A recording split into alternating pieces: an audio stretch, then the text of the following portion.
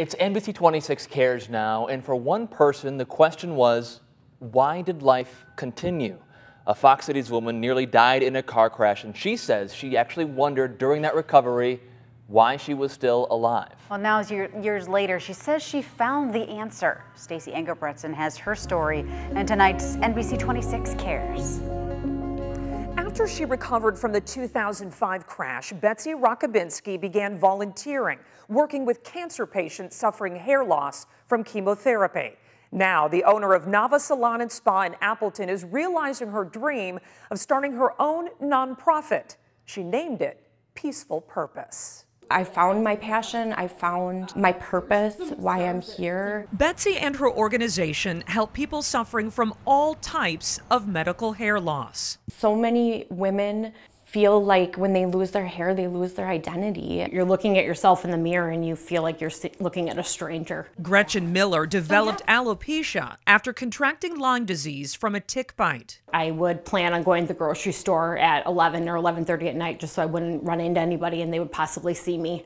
Um, I, you know, and at first I was so uncomfortable in my wigs and I just thought everybody was staring at me. Gretchen says she struggled to find resources in the area for those with alopecia it felt really isolating. Um, it you know, it just felt like there was nobody else that really understood. But then she found peaceful purpose. There's tabs on the side of the wig and you want to make sure those are near your temple area. The organization offers free or low-cost wigs. Having a place where I can come out and try different styles on was so important. As well as hats, scarves, head shavings, haircuts, and wig styling to those with medical hair loss. My insurance does not cover anything for wigs, so everything comes out of pocket.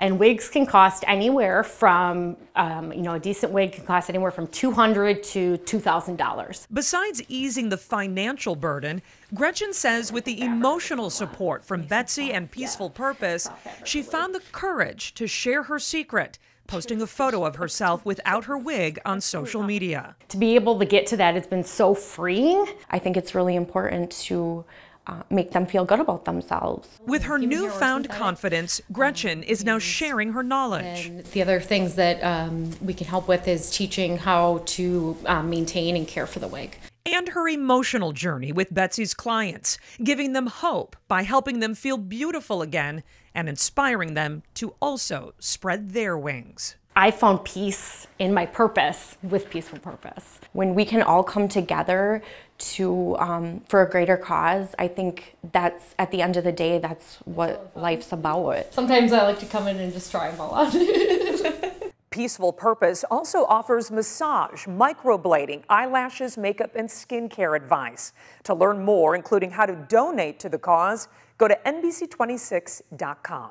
Stacey Engebretson, NBC 26. Looking in the mirror at the hair shop and finding a smile.